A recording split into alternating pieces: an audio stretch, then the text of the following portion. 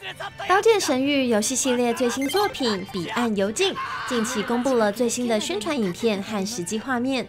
本作故事以动画第三季《刀剑神域》Alicization 为基础，前半段剧情虽然与原作相同，但是后半段将会展开全新的原创故事。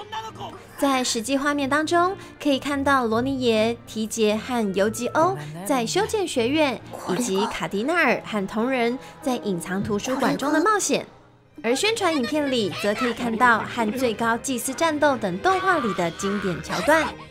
至于原创角色梅蒂娜，也在影片中出现。到底她会对剧情造成怎么样的影响，让故事走向不同的发展呢？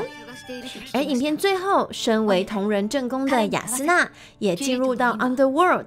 为了寻找同人，似乎也会和爱丽丝发生冲突，也让人越来越在意到底故事会如何发展。有兴趣的玩家就请持续关注游戏的后续情报喽。